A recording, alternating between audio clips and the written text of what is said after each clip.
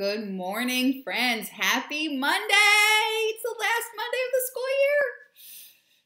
I'm sad though. Today is Monday, June 15th. How are you all? I hope you, thank you, Calendar Man.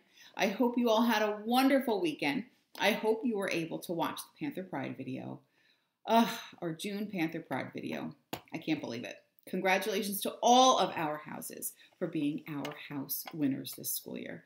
Boys and girls, this has been quite a year.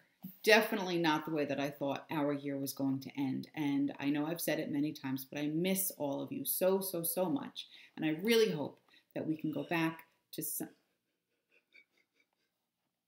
to some sense of normalcy next school year. I can't wait to see all of you. And I was so excited because on Saturday night, I had to run to Target to get something, and I got to see one of you, and it was so hard not to give you a hug, but it was so great Wait, to see.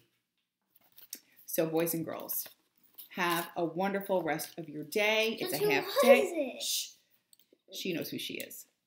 Oh, it's a she. Yes. Um, tomorrow is our last day. Tomorrow will be our last video. That's kind of, I can't believe we've been doing this for 12 weeks. Why can't we do an extra three?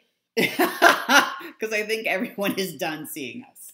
All right. Today's, yeah, but that ends my school year. today's quote is. I have to finish this. Today's quote is. Fall seven times and stand up eight. I don't get that.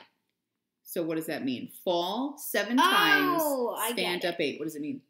Um, so you fall down once, you get up once. You fall down once, you get up once. You fall down once, you get Mm-hmm. up once. You fall down.